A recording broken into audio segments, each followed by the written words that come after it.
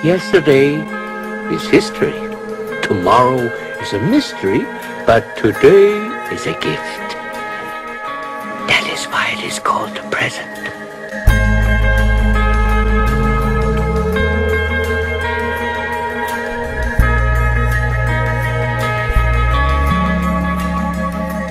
Let it go. Let it roll right off your shoulder, don't you know? this part is over, let it in. Let your clarity define you in the end. We will only just remember how.